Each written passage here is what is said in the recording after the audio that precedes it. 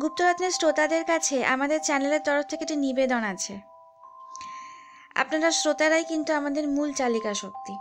তাই আপনাদের কাছে আমরা ক্ষমা প্রার্থনা করছি মিতিন মাসি সিরিজের সর্পরহস্য সন্ধানে গল্পটির শেষ পর্বের অযাচিত আর অপ্রত্যাশিত দেরি হওয়ার জন্য। আসলে আমাদের প্রযোজনা এবং শিল্পী দলটি এই পথে একেবারেই নতুন। উপরন্তু চ্যানেলটি বানানোর আমাদের উদ্দেশ্য ছিল নিজেদের সুপ্ত প্রতিভাগুলোকে সকলের সামনে তুলে ধরা কিন্তু যেহেতু এটি আমাদের মূল পেশা নয়, তাই লাইফের বাকি ইম্পর্টেন্ট কাজ আর পেশা থেকে বেরিয়ে এসে, আর নানান সমস্যাগুলো থেকে বেরিয়ে এসে চ্যানেলের জন্য কাজ করা একটু ডিফিকাল্ট হয়ে যাচ্ছে। সর্বরহস্য সন্ধানের একজন শিল্পীকে অযাচিতভাবে অনির্দিষ্টকালের জন্য শহর ছাড়তে হয়েছে। যেহেতু গল্পটির প্রথম দুই পর্বে তিনি ছিলেন, তাই শেষ পর্বে ওনাকে রিপ্লেস করে অন্য কাউকে আনতে আমরা চাইনি। তাই গল্পটার শেষ পর্ব যে কবে দিতে পারব, সেটা এখনই বলতে পারছি না। কিন্তু আমাদের সকলের আন্তরিক ইচ্ছে এটাই রয়েছে যে গল্পটি যত তাড়াতাড়ি সম্ভব শেষ করার। আর ঠিক সেই কারণেই আপনাদের কাছে আমাদের বারবার অনুরোধ রয়েছে, আপনারা ধৈর্য হারাবেন না। প্লিজ আমাদের পাশে থাকুন। বুঝতে পারছি ব্যাপারটা ধৈর্য হারা হয়ে যাচ্ছে। একটা গল্পের জন্য এতদিন ধরে অপেক্ষা করে থাকার কোনো মানে হয় না। সেটা আমি যদি নিজে হতাম বা আমাদের মতো যারা আমরা শ্রোতারা রয়েছি বা আমরা শিল্পীরা যারা রয়েছি, তারা ব্যাপারটা খুব ভালোভাবে বুঝতে পারছি। কিন্তু সমস্যাটা একটু ডিফিকাল্ট হয়ে গেছে মানে বড়ই হয়ে গেছে সমস্যাটা, যার জন্যে আমরা কিছু করতে পারছি না এই মুহূর্তে। আশা করি সমস্যাটা আপনাদের বোঝাতে পেরেছি, পাশে পাবো আপনাদেরকে। যাই হোক, গুপ্তরত্নের তরফ থেকে ভূত চতুর্দশী, কালী পুজো আর শুভ দীপাবলির আগাম শুভেচ্ছা রইল সকলকে। আলোর উৎসব সাবধানতায় কাটুক, আনন্দময় হয়ে উঠুক, এটাই আমাদের ঐকান্তিক কামনা। তবে একটা কথা, নিজেরা উৎসব পালন করবেন ঠিকই, কিন্তু দয়া করে রাস্তা আর বাড়ির অবলা প্রাণীগুলো যেন আপনাদের আনন্দের বলি না হয়। প্লিজ এটা মাথায় রাখবেন, প্লিজ প্লিজ প্লিজ। এটা আমাদের বিনীত অনুরোধ। ভেবে নিন এটা আমরা আপনাদের কাছ থেকে দীপাবলির উপহার চাইলাম।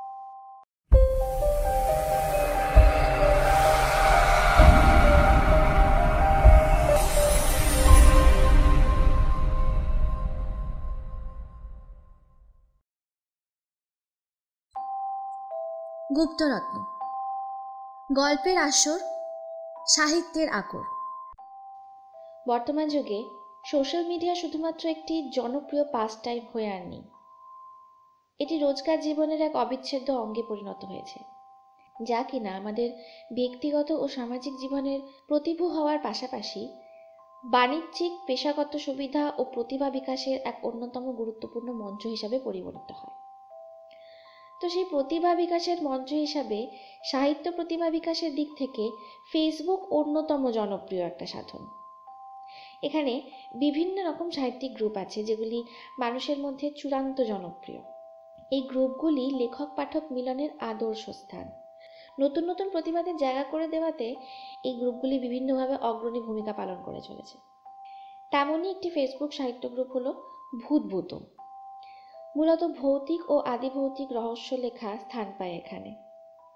আমাদের আজকের লেখক শ্রীমান অঙ্কুর বর এরকমই নবপ্রজন্মের উদীয়মান সাহিত্যিকদের মধ্যে একজন। এনার রচনা পাঠক মহলের কাছে প্রথম থেকেই সাদরে গ্রহণ হয়ে চলেছে। ইনি ভূতভূতম ভৌতিক সাহিত্য গ্রুপের একজন একনিষ্ঠ লেখক সদস্য। জন্ম উনিশশো বিরানব্বই সালে পয়লা এপ্রিল পাঁশকুড়ায়। বাবার চাকরির সুবাদে ছোটবেলা কেটেছে জামশেদপুরে। তারপর আবার পাঁশকুড়ায় ফিরে আসা। কলেজ শেষ করার পর পেইন্ট টেকনোলজি নিয়ে পড়াশোনা করেছেন। দু হাজার সতেরো সাল থেকেই ফেসবুককে সঙ্গে করি লেখালেখি শুরু। এনার উল্লেখযোগ্য কিছু রচনা হলো, রক্তচন্দনের গন্ধ, যক্ষ তৃষ্ণা, ক্ষুদিত সাপ বিটপ গর্বা রঙ্কিনীর জিহবা, ক্ষুদিত সাপ ও যুক্তখণ্ডের ত্রাস রঙ্কিনীর অষ্টম গর্ব ইত্যাদি। এদের মধ্যে যক্ষ তৃষ্ণা, ক্ষুদিত সাপ ক্ষুদিত সাপ ও যুক্তখণ্ডের ত্রাস রঙ্কিনীর অষ্টম গর্ভ বিশেষ উল্লেখের দাবি রাখে। আমাদের আজকের গল্পটি অঙ্কুর বর রচিত একটি ছোট গল্প, সহদরা। নিজের কাছের মানুষগুলোর সঙ্গে সম্পর্কগুলো সময়ে সময়ে যে কত জটিল এবং অমীমাংসিত হতে পারে, সহদরা তারই একটি উদাহরণ মাত্র। ভালোবাসাই সম্পর্কের একমাত্র সংজ্ঞা বা ভিত্তি হতে পারে না। কখনো কখনো তা অন্য কিছুও হতে পারে। চলুন তবে শুরু করা যাক। আজকের গল্প সহদরা। দিদি দিদি দিদি। আবার সেই ডাক। মনে হচ্ছে যেন পাকস্থলীর গভীর থেকে ডাকটা উঠে আসছে। এত জোরে সেই ডাকটা আসছে যে পেটটা ব্যথায় চিনচিন করে উঠছে। আর তারপর ধীরে ধীরে সেই চিনচিনে ব্যথাটা বদলে জ্বলতে লাগল তলপেটটা তারপর দেখতে দেখতেই সেই জ্বালা সারা শরীরে ছড়িয়ে পড়তেই আর্তনাদ করে চেঁচিয়ে উঠলাম। আর তারপরেই? তারপরেই ঘুমটা ভেঙে গেল।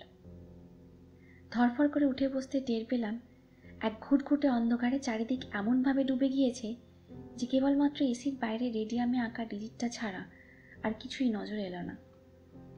সেই সাথে অন্ধকারে এসির হালকা খড়খড়ে শব্দ।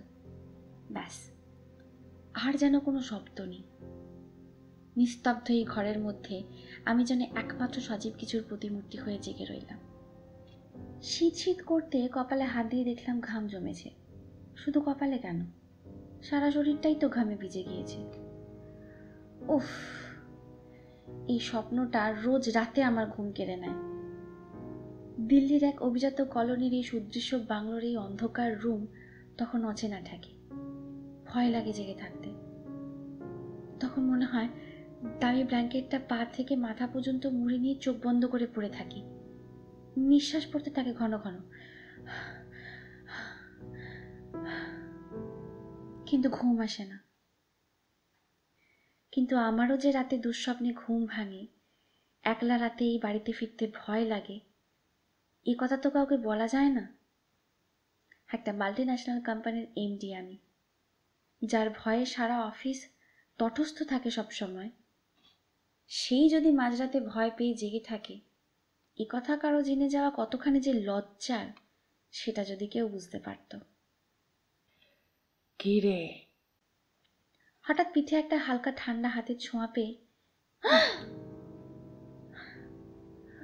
ঠিক যতটা চমকে ওঠা যায় তার চেয়েও অনেকটা চমকে উঠলাম। আবার সেই স্বপ্নটা দেখলি? দিদি কখন যে চলে এসেছে বুঝতেই পারিনি। ওর গলার স্বরটা ধরা ধরা লাগছে। ঠান্ডা লাগিয়েছে নাকি? আমি অন্ধকারে ঘাড় নাড়ালাম। দিদি দেখতে পেল না কিন্তু বুঝতে পারল। তুই ছোট থেকে এরকম হাজার বাজে বাজে স্বপ্ন দেখতিস আর মাঝরাতে ঘুম থেকে জেগে উঠতিস। আমি দেখলাম হঠাৎ করেই জানালার ভারী পর্দাটা সরে যেতেই ঘরের মধ্যে বাইরে স্ট্রিট লাইটের হালকা আলো এসে আমার সারা শরীরে বিভিন্ন আলপনা এঁকে দিচ্ছে। আমি আবার মাথা নাড়ালাম। জানি মা অনেকবার বলেছে সেই জন্য কত বড় পর্যন্ত মা তোকে কোলের কাছে নিয়ে শুতে যেত। আমার খুব হিংসে হতো। দিদি পিঠে হাত রেখে এক নাগারে বলে চলেছে। আর আমি পাশের রুমে একলা ঘুমাতাম। জানিস তো আমারও না মাঝে মাঝে ভয় পেয়ে ঘুম ভেঙে যেত। কিন্তু কাউকে বলতাম না। মনে হতো কে যেন ঘরের অন্ধকার কোণ থেকে আমার দিকে তাকিয়ে আছে। কত রাজ্যে না ঘুমিয়ে কাটিয়েছি আমাদের সেই কসবার ফ্ল্যাটে। কে গুনেছে? তবুও মা আসতো না। আমায় জড়িয়ে ঘুমাতো না। খুব ভয় পেতাম। আর যত ভয় পেতাম, তত হিংসে করতাম তোকে। রাগ হতো তোর উপর। সেই রাগ থেকেই তো কতবার তোর খেলবার জিনিসগুলো নালায় ফেলে দিয়েছি। হোমওয়ার্কের খাতা না নিয়ে যাওয়ার জন্য তুই যতবার মার খেয়েছিস স্কুলে ততবারই তো এক অনাবিল মজা পেয়েছি আমি। তোর ব্যাগ থেকে লুকিয়ে লুকিয়ে খাতা জড়িয়ে নেওয়ার এক অনাবিল মজা। আর মা ভাবতো তুই ভুলে গেছিস রাখতে। আমি মাথা নাড়ালাম। আমি জানি এসব। বারবার কেন বলিস? দিদি কিছুক্ষণ থামলো। হুম তুই জানতিস। কিন্তু আমি ভাবতাম কেউ জানতো না, কেউ বুঝতো না। মা এত বোকা ছিল যে কখনো ভাবতেও পারিনি আমি এসব করতাম। আর তুইও তো কখনো কোনো কিছুর অভিযোগ করিসনি। তাতে না আরও রাগ হতো। কি আশ্চর্য! আমায় নিয়ে কারোর কোনো অনুভূতি নেই, এটা ভাবলে আরও অনেক রাগ হতো। না দুঃখ, না কষ্ট, না রাগ, না যন্ত্রণা। কারও কোনো রকম ফিলিংস ছিল না আমার প্রতি। মা এমন ভাবে আমায় দূরে সরিয়ে দিয়েছিল, যেন শুধুমাত্র আমার জন্যেই সেই রাতে বাপির চকলেট কিনতে বেরিয়ে আর ফিরে আসা হয়নি। আমি যেন বাপিকে বলেছিলাম, রাস্তা না দেখে পার হতে। আমি যেন সেই গাড়ির চাকাটা বাপের মাথার উপর দিয়ে দিদি এক নিঃশ্বাসে কথাগুলো বলে হাঁপিয়ে উঠল।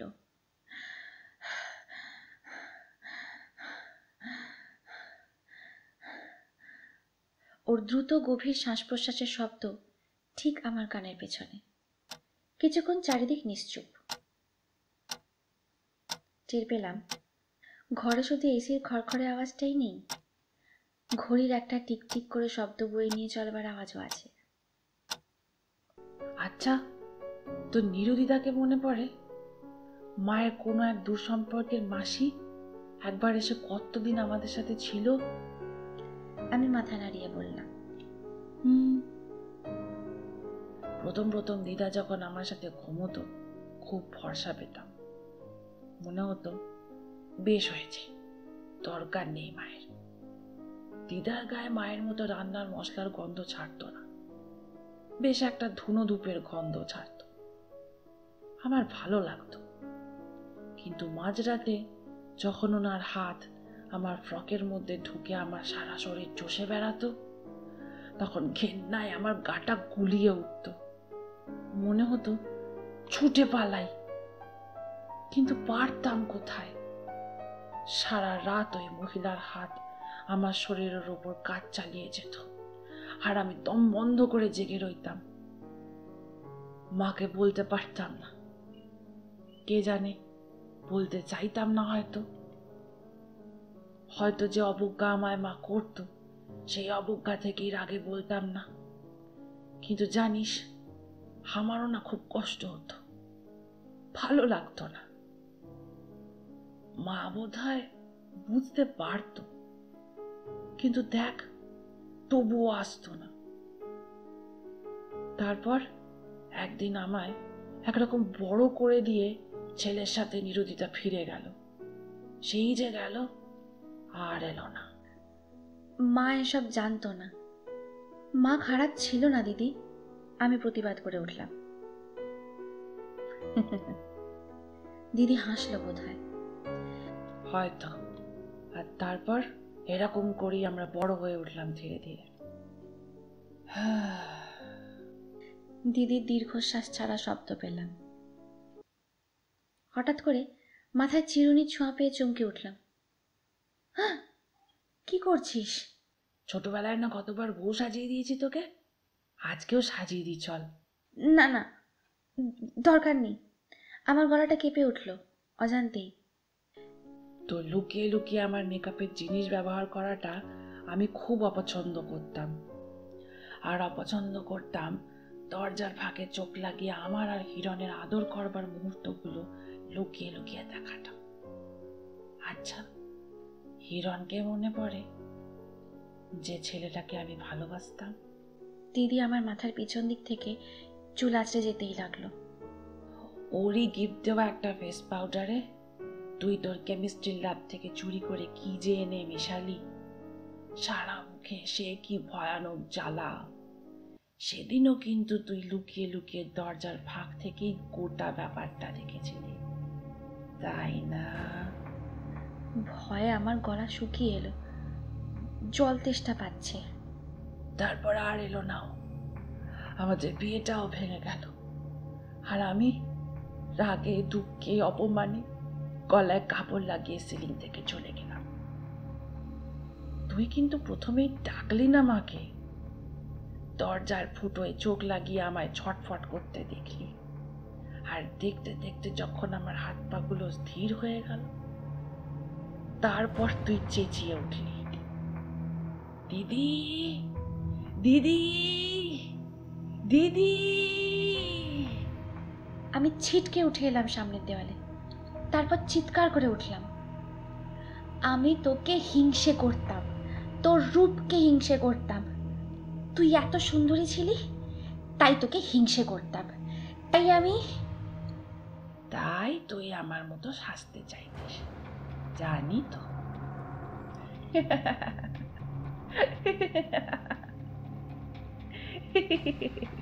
খিলখিল করে হেসে উঠল দিদি। আমার সারা শরীর আবার ঘামে ভিজে উঠল। চল তাহলে আর দেরি না করে তোর সাজের ফিনিশিং টাচটা দিয়ে দি। কথাটা বলে দিদি উঠে দাঁড়াল। দিদির হাতে একটা গোল চকচকে বস্তু। আমি দেওয়ালে পিঠে গিয়ে আর্তনাদ করে উঠলাম। কি? কি ওটা? কি আবার? ফেস পাউডার মুচকি হেসে দিদির সামনে পা পা করে এগিয়ে আসতেই স্ট্রিট লাইটের কিছুটা ওর ঝলসে পুড়ে যাওয়া মুখের ওপর পড়ল।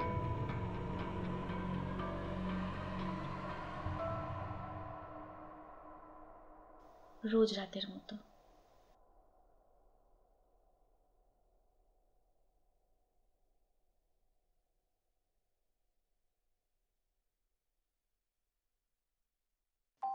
আজকে গল্প পাঠ এবং সূত্রধরের ভূমিকায় আমি Sumana Datta. Production of the lens YouTube channel Guptaratna. পর্ব পরিচালনা, সম্পাদনা এবং প্রচ্ছদ গ্রাফিক্স সুমনা দত্ত। গুপ্তরত্নের আজকের নিবেদনের উদ্দেশ্য ছিল ভূত চতুর্দশী। আশা করি গল্পটি আপনারা উপভোগ করতে পেরেছেন। যদি সত্যিই ভালো লেগে থাকে, তাহলে প্লিজ আমাদের চ্যানেলটি সাবস্ক্রাইব করে নিন। সঙ্গে বেল আইকনটাকে অবশ্যই প্রেস করে দেবেন।